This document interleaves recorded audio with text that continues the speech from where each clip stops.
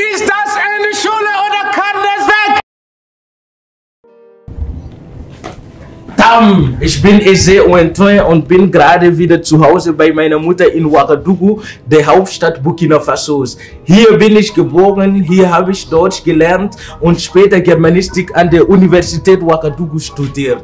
Heute bin ich wieder zu Hause und möchte euch meinen größten Traum, also das Schulprojekt Centro Arc-en-Ciel vorstellen, das heute eine Realität geworden ist. Ich kann es kaum fassen. Also das Schulprojekt Centro Arc-en-Ciel liegt in Geswende, einem Dorf circa 30 Kilometer von Ouagadougou entfernt. Kommt mit auf die Reise. Ich zeig euch und das ist hier meine Mutter. Tschüss.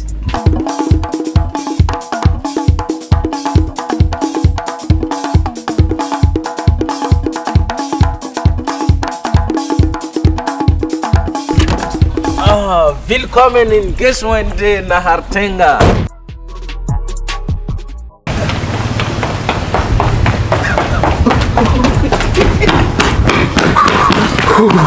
Wow, das Gebäude ist richtig lang mit ja, vier Klassenzimmern. Alter Schwede, ja.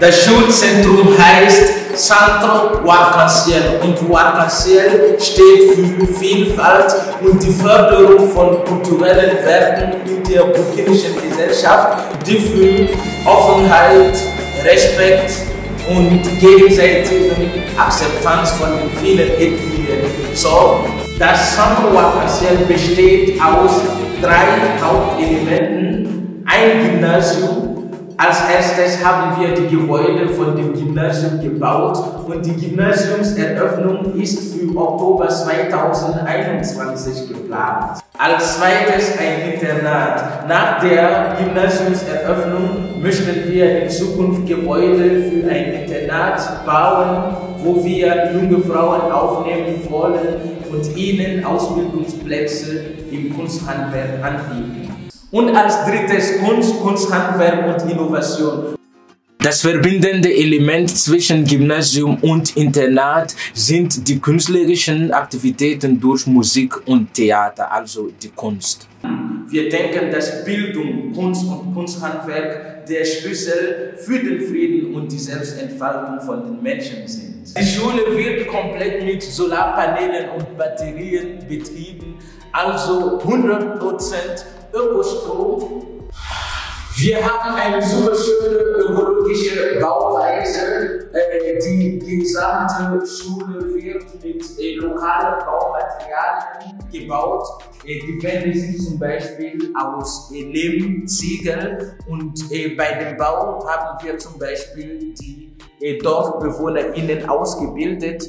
Das bedeutet, dass wir für den weiteren Bau vom Internat selber die Lehmziegel äh, herstellen können. Diese Bauweise ist super geeignet für die klimatischen Bedingungen in Burkina Faso.